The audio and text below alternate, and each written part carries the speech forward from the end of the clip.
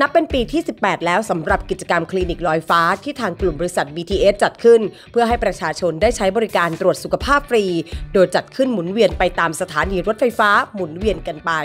โดยในปีนี้คลินิกลอยฟ้าสุขภาพดีทุกวัยในยุคดิจิทัล จัดขึ้นที่สถานีรถไฟฟ้า BTS 5แยกลาดพร้าว โดยดรอานัทอาภาพิรม ที่ปรึกษากลุ่มบริษัท BTS เป็นประธานในพิธีเปิดงาน พร้อมด้วยนายสุรพงษ์เลาหะอัญญา กรรมการบริหารกลุ่มบริษัท BTS นอกเหนือจากการคืนกำไรให้กับสังคม ด้วยการให้ประชาชนทุกช่วงวัยเข้าถึงบริการตรวจสุขภาพ โดยไม่เสียค่าใช้จ่ายจากกลุ่มแพทย์ผู้เชี่ยวชาญแล้ว การสร้างการรับรู้ให้กับประชาชน เรื่องเทคโนโลยีดิจิทัล และเทคโนโลยีทางการแพทย์ ก็เป็นสิ่งที่จำเป็นเช่นกัน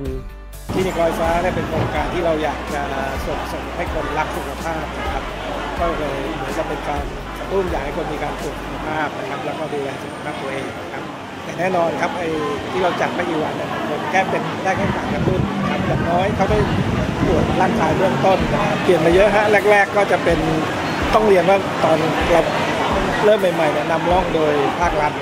คือกระทรวงสาธารณสุขนะครับร่วมกับเรานะครับแล้วหลังจากนั้นก็จะมีโรงพยาบาลหรือสถาบันเกี่ยวกับทางสุขภาพเนี่ยเข้ามาร่วมอีกเยอะนะฮะวันนี้ก็มี 9 โรงพยาบาลหรือหน่วยงานนะฮะที่มาร่วมกับเรา ก็ดีมากนะดีมากนะผมได้ยินว่าบางทีเนี่ยคนสูงอายุเนี่ยพอรู้ว่าวันนี้จะมีคิวมารอแต่เช้าเลยนะฮะก็ก็เพิ่มขึ้นเรื่อยๆครับตามจำนวนบูธที่เรามีมากขึ้นด้วยนะครับ คลินิกลอยฟ้าปีที่ 18 ได้ผนึกกำลังกับกลุ่มพันธมิตร 9 โรงพยาบาล ได้แก่โรงพยาบาลจุฬาภรณ์ กลุ่มบริษัทในเครือโรงพยาบาลกล้วยน้ำไทย มหาวิทยาลัยเทคโนโลยี ราชมงคลธัญบุรี โรงพยาบาลเปาโลเกษตร คณะทันตแพทยศาสตร์ มหาวิทยาลัยมหิดล โรงพยาบาลเมตตาประชารักษ์ วัดไร่ขิง โรงพยาบาลวิชัยยุทธ โรงพยาบาลวิภาวดี โรงพยาบาลวิมุตให้บริการตรวจสุขภาพฟรีกว่า 20 รายการ ซึ่งโปรแกรมบริการตรวจสุขภาพที่สำคัญของแต่ละโรงพยาบาลอาทิว่าจะศาสตร์ฟื้นฟูกล้ามเนื้อ การวิเคราะห์ค่า BMI วัดมาตรฐานเพื่อประเมินสภาวะของร่างกาย นวดออฟฟิศซินโดรม วัดความดันเจาะน้ำตาลปลายนิ้ว ตรวจความเสี่ยงโรคเบาหวาน ตรวจสุขภาพช่องปากและฟัน ตรวจจอประสาทตา ตรวจวิเคราะห์ร่างกายด้วยเครื่อง Body Composition Analyzer ตรวจคลื่นไฟฟ้าหัวใจ EKG ตรวจอัลตราซาวด์ช่องท้องส่วนบนล่าง